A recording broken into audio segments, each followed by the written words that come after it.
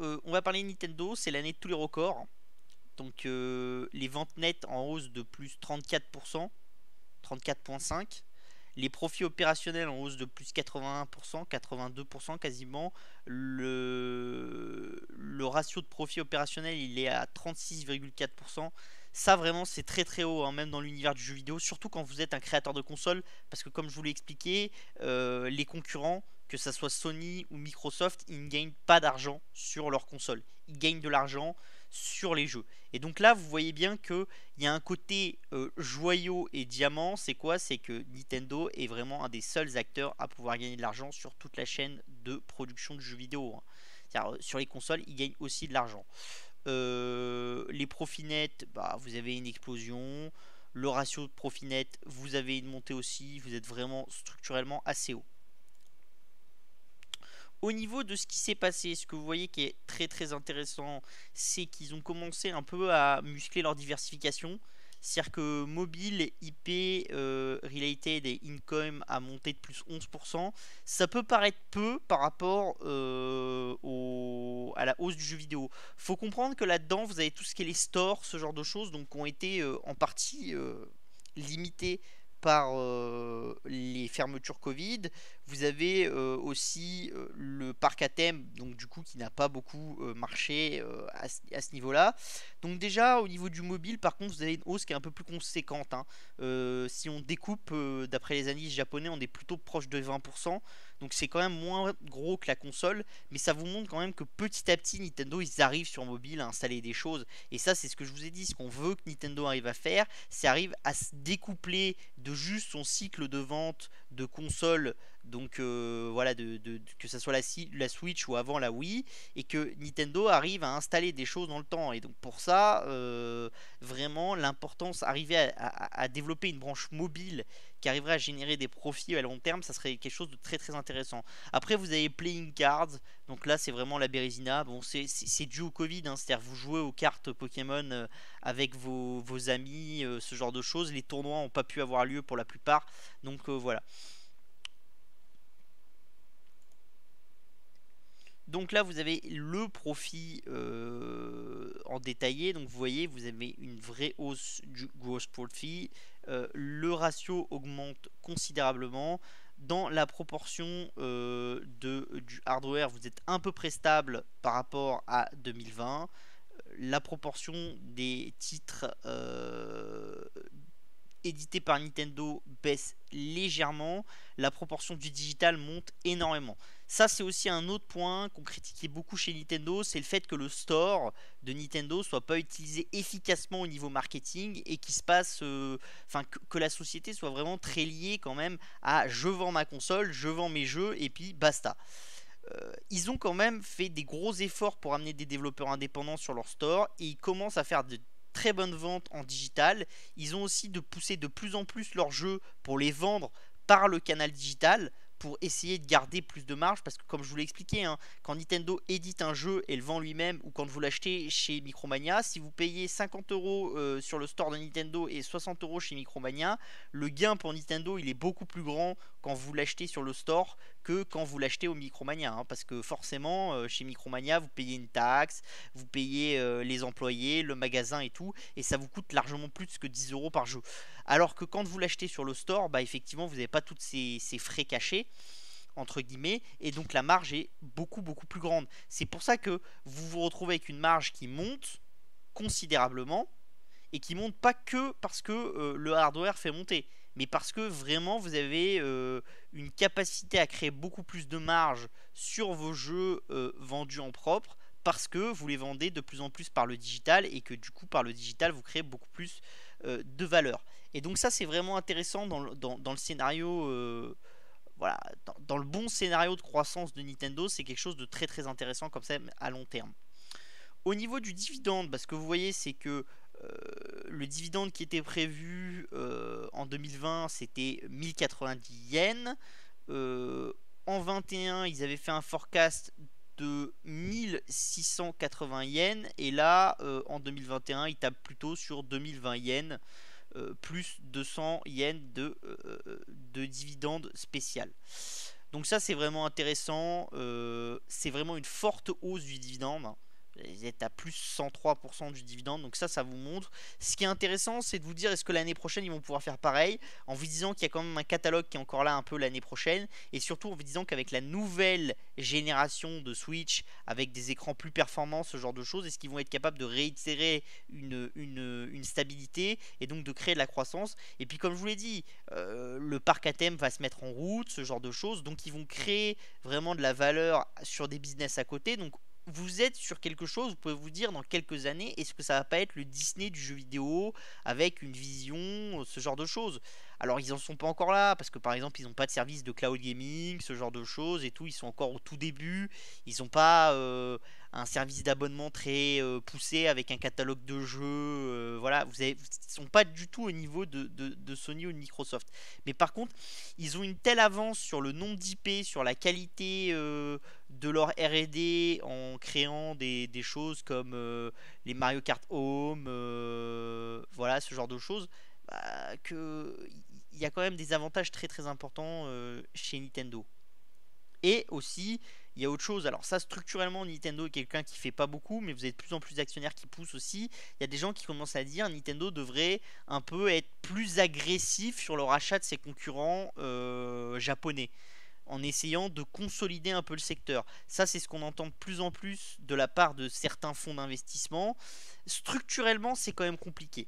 Parce que structurellement, c'est vrai qu'au Japon, vous avez une tendance des managements à être beaucoup plus attentif et à être beaucoup plus dans la stratégie de croissance interne organique que dans la stratégie de croissance externe. Après, comme je vous l'ai dit, il y a quand même une... Il y a de plus en plus de, gens qui, bousculent le management de Nintendo. Ils ont quand même fait des, choix qui étaient euh, il y a quelques années, on n'aurait pas pensé qu'ils puissent faire ce genre de choix-là. Donc c'est quelque chose à voir parce que moi je pense que c'est typiquement des gens qui pourraient faire un deal. Après, il y a aussi autre chose, c'est que vous avez des actifs qui sont regardés. Par exemple, Square Enix est regardé par des acteurs et tout. Et il pourrait y avoir au Japon un principe euh, assez intéressant de protection. C'est-à-dire euh, Nintendo pourrait aller vouloir par exemple racheter Square Enix pour faire en sorte que ce soit pas quelqu'un d'autre qui le rachète et euh, être dans une dynamique de protection des intérêts un peu nationaux, ce genre de choses. Donc ça c'est quand même très très intéressant et c'est un truc qu'il faut regarder parce qu'il commence à y avoir des deals entre acteurs japonais euh, sur le secteur du jeu vidéo et ça, euh, même si c'est des tout petits acteurs pour le moment, ça montre quand même qu'il se passe des choses. Voilà, au niveau des ventes, bah là vous voyez, hein, vous, avez les ventes de hardware de Nintendo Switch Lite, de Nintendo Switch et de Nintendo Switch Lite. Là, vous avez les ventes par trimestre. Vous voyez, en jaune, c'est la light et en euh, euh, bleu, c'est euh, la normale. Ce que vous voyez quand même, c'est qu'il y a une capacité quand même d'aller accroître ce marché en vendant la light. C'est-à-dire beaucoup de gens qu'on dit au début, y compris moi, la light, je suis pas sûr qu'à long terme elle se vende et tout. Vous voyez quand même qu'il y a une capacité du marché à aller chercher la light. Parce qu'elle est moins chère, Peut-être aussi parce que typiquement euh, c'est plus intéressant pour une famille d'aller acheter une Switch et une Switch Lite pour quand on en a besoin de deux plutôt qu'aller acheter deux Switch. Euh, voilà, ce genre de choses. Mais ça c'est vraiment intéressant cette capacité à intégrer et à euh, faire coexister ces, deux versions de la Switch à long terme dans les ventes et d'avoir quand même des très très bonnes ventes de Switch Lite euh, ça prouve que quand ils vont sortir leur prochaine Switch avec un écran un peu plus grand, un peu plus qualitatif et tout, peut-être qu'ils auront une capacité à terme à avoir vraiment euh, la capacité d'avoir une console très haut de gamme, une console moyenne gamme et une console un peu plus low cost et avoir l'univers complet sur une seule console qui changerait peut-être juste euh, voilà la capacité d'afficher des jeux, ce genre de choses et tout. Au niveau des jeux, vous voyez quand même qu'il y a beaucoup de très très grandes choses. Vous avez 20 millions, un peu, quasiment 21 millions de d'Animal Crossing vendus. Vous voyez que le back catalogue, euh, ce que je vous dis quand même depuis un certain temps, back catalogue au niveau euh, de, Nintendo, bah, euh, Mario Kart Deluxe qui est sorti il y a quelques années, bah, quasiment 11 millions d'unités vendues c'est considérable. Super Mario 3D All Star qui a un remaster quasiment 9 millions d'unités, un peu plus de 9 millions d'unités vendues. Et euh, Ring Fit Adventure qui a profité beaucoup du Covid, vous êtes à 7,4 millions d'unités vendues. C'est vraiment une très très bonne surprise pour, euh, Nintendo. Et vous avez vu, je vous ai dit. Euh, quand on avait encore les, données qui nous revenaient sur, sur les ventes, il y avait eu plusieurs euh, semaines de suite Ring Fit dans le top 5 euh, européen et je vous avais dit que c'était un jeu qui profitait beaucoup du Covid et qui risquait à mon avis de driver un peu euh, les résultats au Q1 et de, de, Nintendo et, je pense que vraiment oui, ils ont le bon catalogue pour les périodes de Covid et ils ont su l'installer au bon moment et, au bon, et, aux bons endroits. Et ça c'est vraiment très très intéressant parce que c'est quelque chose qu'ils n'avaient pas réussi à faire avec la Wii parce que sur la Wii, ils avaient eu des, des, jeux, ils avaient eu Wii Sport et tout.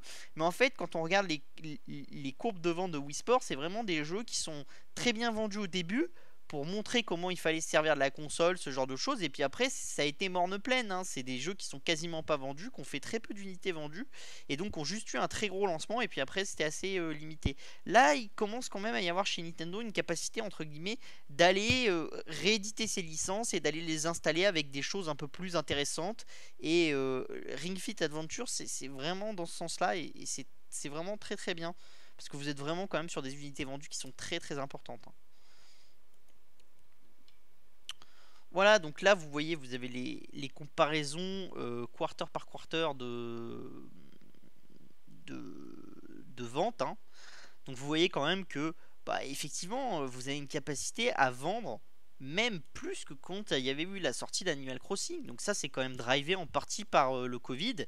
Et ça, veut dire aussi que tous les gens qui ont été convertis à l'utilisation de la Switch avec le Covid et tout, c'est des gens qui sont pas forcément des hardcore gamers ou ce genre de choses, mais c'est des gens qui vont rester dans l'univers Nintendo et qui vont pas forcément avoir envie d'acheter 15 euh, jeux par an, mais peut-être un ou deux jeux et des jeux thématiques. Donc Ring Fit Adventure pour faire du sport, euh, un peu de Mario Kart pour jouer avec les copains ou avec les enfants, euh, Animal Crossing et Zelda. Et au final, vous vous rendez compte que bah, l'écosystème de Nintendo, même s'il est limité, eh ben, il correspond plus ou moins à ce qu'une grande partie des gens attend.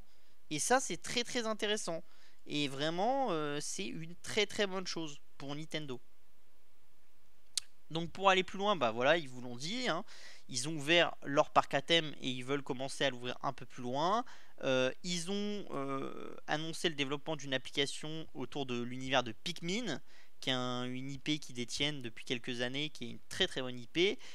donc voilà, donc je pense que vraiment ils commencent à montrer leur envie d'aller stabiliser la société. Et moi j'avais tendance à dire qu'en fait Nintendo, le défaut de Nintendo c'était un peu une cyclique des jeux vidéo.